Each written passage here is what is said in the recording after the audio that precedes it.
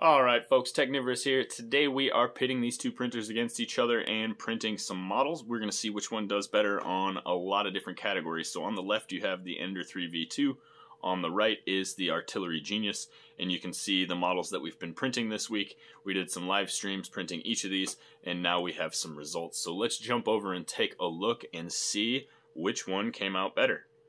Hey folks, Technivorous here. If you haven't already, make sure you hit that subscribe button, but stick around because today we're going to be talking about some pretty interesting stuff I don't think you're going to want to miss.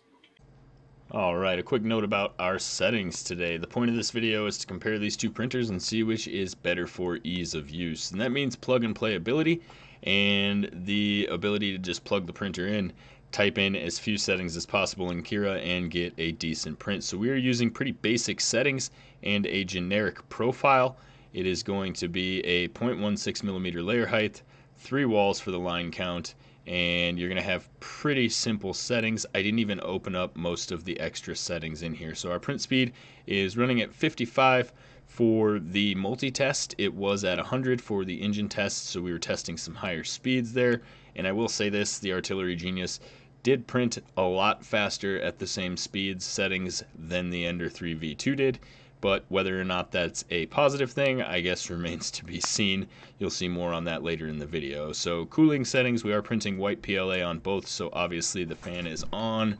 And now that we've discussed our settings, let's discuss our models. Now these are the two models I chose. We did an engine benchmark test and a 3D printer test. This is the small version of a multi-function test. So there are lots of different things we're going to be looking at here and comparing on the two models. But the important thing to note is, as I said a moment ago when looking at Cura, those settings are going to be the same for both of these printers, and that is going to lead to some interesting differences, notably in the one setting I didn't alter between the two and probably should have, which is retraction. Uh, we'll talk about that a little bit more when we discuss this machine. Let's jump over to the other machine and compare these two overhang tests and see how they both came out. And here we can see the overhangs printed pretty nicely on both machines. Again, on the left is going to be the Ender 3. We're going to go ahead and flip these around to the back because we're looking for where it starts to deviate under here. That's where it's unable to support its own weight. And this model actually looks like it's done a really, really good job I don't see any looseness or hanging on the 10 degree change, although there is a little bit on the 15 degree change here, and that is right around the steepest angle between 60 and 75. Um, we don't really notice that as bad on this one, but it's still there. And in fact, the variation does continue down all the way down to 45 degrees. So you get a little bit more even loss on this one as the angle increases, but you're going to need support at around 45. The Ender 3 is good up to about 60, so anything below that, I think you're probably going to be okay. Prints a little bit better at that 45 degree angle than the Genius did. So while we're looking at these models, we have a lot of things to compare. Basically, they are multi-print tests. You can see some stringing here. That is a result of the retraction, as I said. Uh, the Artillery Genius is a direct drive machine, so I had retraction set. Um, you don't necessarily need it set as high as you would with a Bowden machine like the Ender 3. Um, it does look a little worse up here in the top. So but there are other things that we need to look at here. So let's jump over to some pictures that I took to get a closer look at these fine details.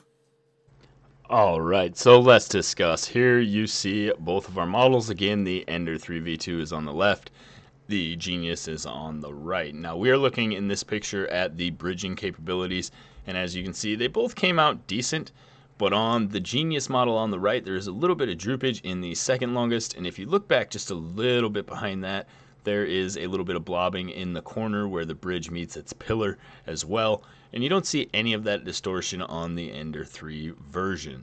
So the next thing we're going to take a look at here is the circular shapes right here. Now these are inner and outer diameter tests and on the Ender 3 they came out pretty much flawless, nice and round and it worked out really well. Again when we look at the Genius model we start to see this. Now this may look like a trick of the light but in fact this bottom perimeter of the right circle that is encapsulated with the red here that is a little bit thicker than the rest of the walls, which is a deviation and a flaw in the print as far as perimeters and dimensions go. You'll also note now looking back up in the bridging here on this Genius model, there is a little bit of stringing and droopage from the second shortest of the bridges, so that's not really ideal either. And the next thing that we're going to take a look at and final thing is the stringing. And on the left you can see the pillars for the Ender 3 had a little bit of wispy strings coming off just one pillar there. If you look on the right, you see that there is quite a bit of stringing on the pillars from the Artillery Genius. Now this is most likely the biggest artifact of us not changing that retraction setting and that's why we're getting these because as I said the Artillery Genius is a direct drive machine. Well, so the Ender 3 thoroughly kicked the artillery's butt in that model. Well, how about printing a print in place model with moving parts? Here we have our two engine benchmark tests. On the left, you can see the Ender 3 version did do a little singeing or burning of the filament in that area when printing a small feature. Other than that, this one came out pretty well. I mean, those are pretty steep overhangs on those pistons. It's pretty much printing in midair. Um, and the artillery version, unfortunately, because we used horizontal expansion to make sure that the parts didn't fuse together uh, in the negative, we made them a little too thin and the pistons popped right off when I tried to loosen this one up. So, and you can see in the live video that I was really gentle trying to free both of these mechanisms and this one did not work and this one did. And unfortunately, um, that's kind of the death knell for the Artillery Genius. It's a great printer, but in this case, um, the Ender 3 V2 is way more plug and play and just kind of ready to go. If you had put in generic settings, you're going to get a decent print. And that's not to say that the Artillery Genius is not a great machine. With a couple more settings, uh, tweaks, and things like that, minor adjustments, this would be a epic print. In fact, I have a profile for the Artillery Genius that is just as much in-depth setup as my profile for the Ender 3 V2. And in that profile, you see a little changes here and there, but the overall result comes out a lot better than just a generic plug and play profile. But for the new user who is getting a brand new printer for the first time, I definitely have to recommend the Ender 3 V2 for ease of use. It's going to be pretty much plug and play. You hook it up, the settings are going to work for you. You might have to make a few minor adjustments, but mostly just to level your bed to get the thing printing. So I have links to both these printers down below, and I can't stress enough they are both great printers. There are things about the Artillery Genius that I love that the Ender 3 V2 just doesn't do for me, but like I said, we are going for ease of use today, and the results speak for themselves. That's going to be it. Thanks for watching, guys. Don't forget to leave a like, hit that subscribe button, and we'll see you next time.